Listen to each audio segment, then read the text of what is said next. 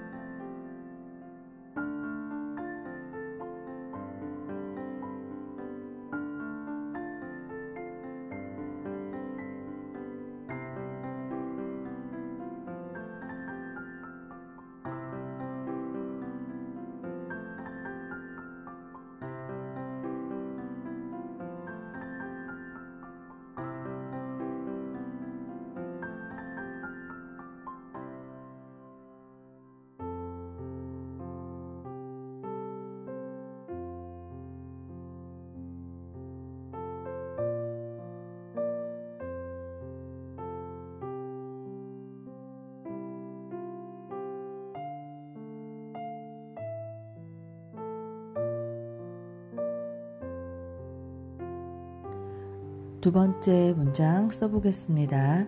인생의 정답은 없다. 선택만 있을 뿐. 이 문장도 천천히 써볼게요.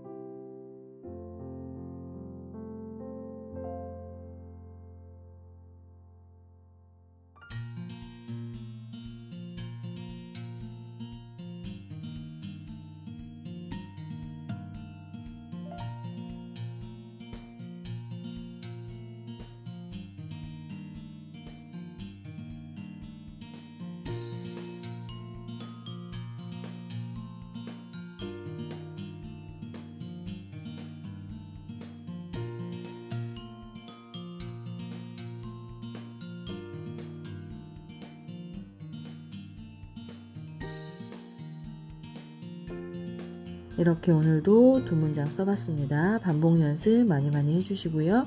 주말 잘 보내시고 월요일날 또 영상으로 만날게요. 오늘 좋은 하루 보내시고요. 연습 많이 하세요. 모두들 안녕히 계세요.